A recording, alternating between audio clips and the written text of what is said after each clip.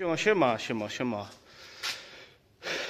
Zrobiłem wczoraj opryskiwacz i opryskałem jeszcze rzepak i zobaczcie. O, jest oliwa nalana. Trzyma się wszystko elegancko. Opryskiwacz na razie schowałem sobie pod wiatkę. Bo chyba będzie to ostatnie pryskanie jego w tym roku. Jeszcze wodę skapuje. Yy, No, a co? Idziemy? Idziemy nasmarować pług. Idziemy sobie nasmarować troszkę długa. O. Czekaj, dobrze? Dobrze. O. Dobra. O. Włączamy prąd. Pędzarcie. Mamy ten do pompowania.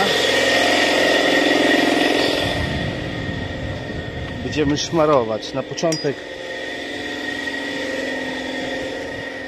na początek kółeczko i będziemy od tyłu się kierować w stronę traktora.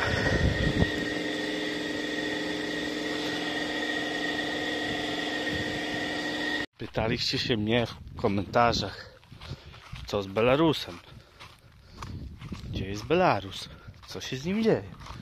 Gdzie są filmy z Belarusem? A już wam pokazuję.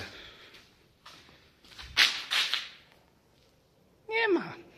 Także raz na zawsze możemy pożegnać. Nie wspominać o Belarusie, ponieważ udało mi się go pozbyć.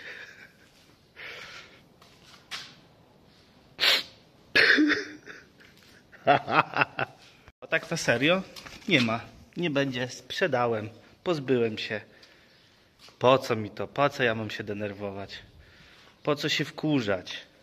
Po co ręce usmarowane non stop? Po co go ściągać z pola cały czas? Po co oleju dolewać 5 litrów codziennie?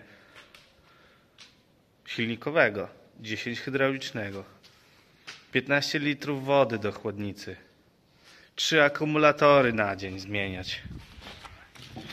Dwa wiadra śrub szukać, żeby po- poskręcać go. 15 stworzni. Dwie paczki elektrod. 20 kW prądu. Po co mi to?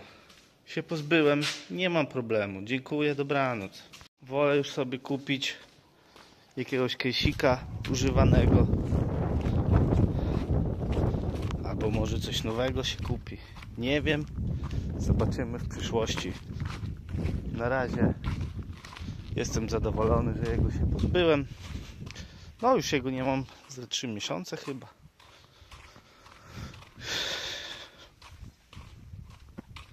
No. Elegancko.